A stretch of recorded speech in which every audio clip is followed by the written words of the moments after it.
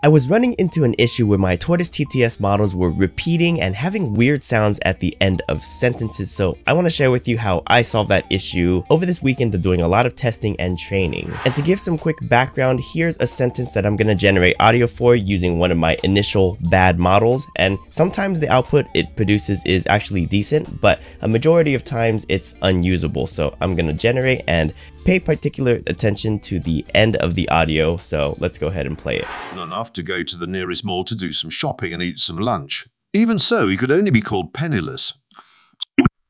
And there you go. There is a little bit of aberrations at the end, a little bit of breathing or weird noise that occurs at the end of the sentences. And that was present in so many of my models that I was training over this weekend. And I even have an entire document where I wrote everything that occurred. So if you want to stop and take a read of my, you know, little scribbles, you can go ahead and read this. I'm not going to go over this document in today's video. Now, if I go to one of the models that I successfully trained and then reload the TTS with it, I'm going to regenerate that same sentence and then we'll take a listen to hear how it sounds. And let's take a quick listen. More than enough to go to the nearest mall to do some shopping and eat some lunch. Even so, he could only be called penniless. Okay, and there you go. At the end of the sentence, it has no aberrations and it just ends smoothly. So this model does have its own issues, but um, it's much better than the initial models that I was training. And I want to go over what exactly I did and everything that contributed to it. So first, the biggest thing was the data set having issues with it. So because the data set had um, a little bit of noise at the end of the audio, it ended up resulting in those models where you're getting weird noises at the end. And I want to give you a quick sample of that real quick so that you can see what I mean. So here's an actual sample real quick. We'll take a quick listen and listen to the end of the audio. The weather, however, is not my biggest issue. So in that dataset clip, you can hear a little bit of a at the end, which is breathing and is very normal for when you are speaking. And when I did a split for all of the data that I was using in training this voice, it ended up resulting in a lot of sentences that had that exact same split. So that was a big issue. And one thing that I tried doing was cutting each audio sample by a specific amount by 0.35 seconds and this did result in something that was a little bit better, but it still wasn't as good as I needed it to. So I ended up re-splitting it with Whisper. So if you don't know what Whisper is, I'll give you a quick sample. So here I have a terminal window with my virtual environment activated for Whisper X and we're going, going to split or we're going to create subtitles for that audio file. So if I type in dir, you can see that I have an audio file in here.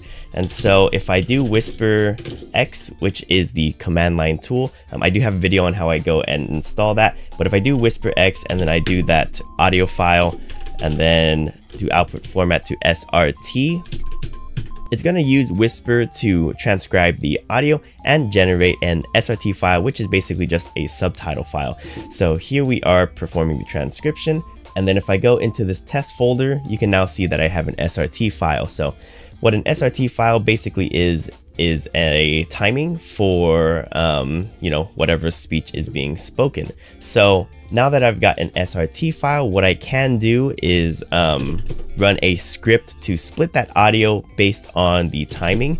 And so what I have here is a script that I can do this pretty handily with. So Python split single um, py. I can now choose the WAV file, and then I can choose the subtitle file, um, and then output folder to segment the WAV file or the audio file. And so if we take a look real quick at the um, size of it, you can see that it cut off some audio at the end because it is now 357 kilobytes instead of four, uh, 459 kilobytes. So let's go ahead take a listen of before and after. Here is before. The weather, however, is not my biggest issue. And then here is after. The weather, however, is not my biggest issue. So there you go. So that one cuts out that breathing at the end, which helps to reduce that repetition in the out in the in the model at the end of it. So um, what I ended up doing was running a script that segmented all of the cut audio files one more time I basically used the um, the audio splitter whisper that I went over on my channel. I used it twice on a model or a data set and cut it with a initial round and then I split and cut all of it in a second round. So that resulted in a dataset that was much cleaner without all of the breathing at the end and allowed me to train a much better model. However, the there is an issue with it if you um, listen to the end of the audio segment here. The weather, however, is not my biggest issue. It cuts off at ish, so it doesn't say issue. And so I do need to have a little bit of padding for um, my script so that I can maybe have a little bit of SRT padding so it doesn't cut off the end of the sentences. And that shows itself being present in my end model. So if we take a listen to this initial model um, or the final model that I did um, before this video, listen to what it says at lunch, which is the middle of the sentence. More than enough to go to the nearest mall to do some shopping and eat some lunch. Even so, he could only be called penniless. So it kind of cuts off lunch there, and I believe that is a transfer because of how the dataset um, samples are, where a lot of these sentences are cut off a little bit too short, and that results in, um, you know, some sentences like lunch getting cut off. So I do have to run additional training on that just to uh, verify that my assumption is correct in there, but I do think it is correct because once um, I re-whispered my initial data set, the models sounded way, way better. Um, and so I had done nine training sets I had done nine trainings with the previous um, data set that was that wasn't that good, um, and then I did two more after that where I had re-whispered the already whispered split audio, and that resulted in a model that was much better.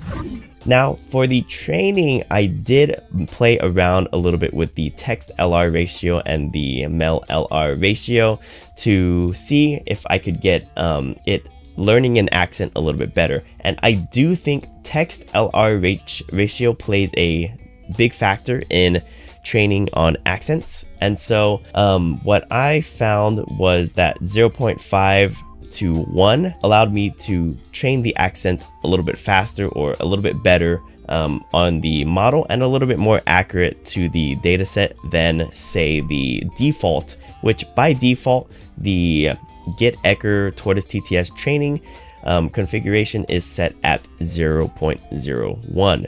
And so the author of the um, of this repository here, the one that I use in his wiki area, um, he goes over this hyperparameter that you can um, adjust, which he has here. It says uh, for text LR, uh, weight governs how much to train the text portion phonemes of the model. And so for English, he recommends that you um, just leave it at default. And then for non-English, you set it at one as you're teaching the model a new language. Well, in this case, we are kind of teaching the model a new style of English. So that's why I increase the text LR ratio to one in this case, or 0.5. Um, and to my ears, it sounds better than 0.01. Now, you can use 0.01. It actually does still produce fantastic um, prosody and intonation for at least British speaking voices. So um, let me just load in one real quick. And then um, I generated a sentence with that model I had trained at 0.01. So let's go ahead and take a listen. More than enough to go to the nearest mall to do some shopping and eat some lunch. Even so, he could only be called penniless. And so to me, that still sounds fantastic. Um, but like I said, at the end of these sentences, at the end of the audio, there is um, aberrations, some noise, and that is because of the way or the data set that it was trained on.